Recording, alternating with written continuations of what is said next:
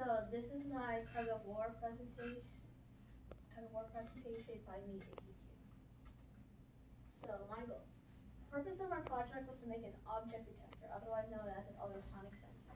The way the sensor works, whenever a robot is tugged across where the ultrasonic and the ultrasonic sensor, ultrasonic and the sorry, it was a typo, and the buzzer will go off.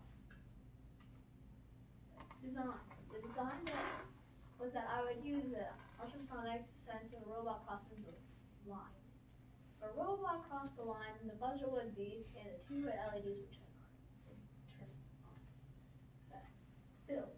When I was building, I faced a lot of problems such as incorrect wire placement and short circuits. The build, uh, building, I would say, was the most challenging part.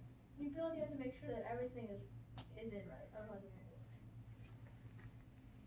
Program. Using Python, the simplest coding language of all, I coded a program capable of commanding an ultrasonic sensor, LEDs, and a buzzer. And yeah. Let's give a round.